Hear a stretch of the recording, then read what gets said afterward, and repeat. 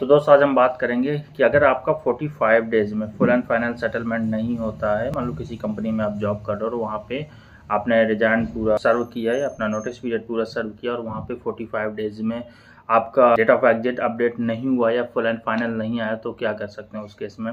तो दोस्तों, मैं आपको क्लियर बता दूँ कि ये टोटली डिपेंड करता है आपकी कंपनी एचआर पे। उनको आपका full and final within forty days देना ही पड़ता है, जो कि एक लेबल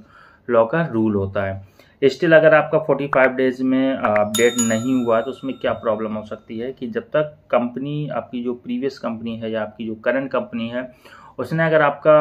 अपडेट नहीं किया है डेट ऑफ़ एग्जिट तो उस केस में अगर आपने कोई दूसरी कंपनी ज्वाइन करी है सेम टाइम में तो आपको वो सर्विस ओवरलैपिंग का इशू आएगा, जिसमें आपको जॉब मिलना बहुत मुश्किल हो जाएगा। एक मैंने सर्विस ओवरलैपिंग का वीडियो बनाया, आप चाहो तो वो देख सकते हो।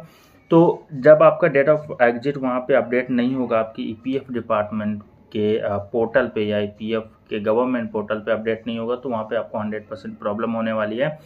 एंड इसके लिए आप क्या कर सकते हो, आप एक पोर्टल पे जाके ईपीएफ के पोर्टल पे जाके अगर दो महीने तक हो गए डेट ऑफ़ एग्जिट अपडेट नहीं हुआ है तो उस पर आप लॉगिन करोगे, वहाँ पे एक ऑप्शन मिलेगा आपको मैनेज में जाके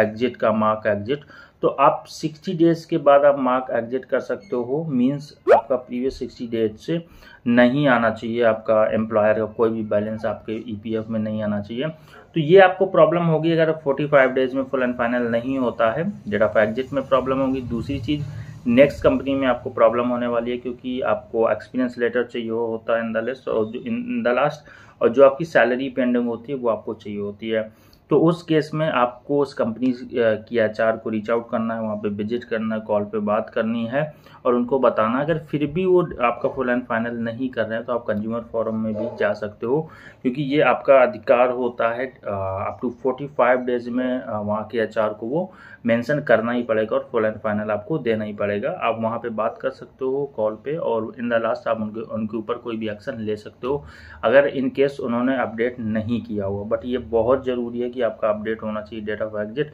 अगर आपका पी एफ़ कट रहा है किसी भी ऑर्गेनाइजेशन में तो बस आज की वीडियो में इतना वीडियो अगर अच्छा लगा तो लाइक शेयर चैनल सब्सक्राइब ज़रूर करें। मेरा नाम है शुभम मैं मिलता हूँ नेक्स्ट वीडियो में। Till then have great moment and don't forget to like share subscribe thank you so much for coming